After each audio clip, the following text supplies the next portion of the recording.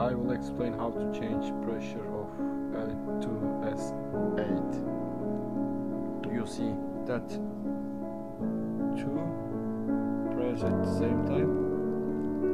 Clinical menu. You need to reach. Then from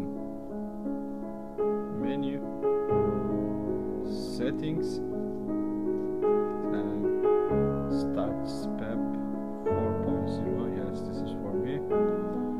and this is 5 my SPEP value this is the you know the pressure of the CPAP and max ramp is 30 in 30 minutes uh, you will reach from 4 to 5 it is pressure. Is slowly in 30 minutes you will you know sleep.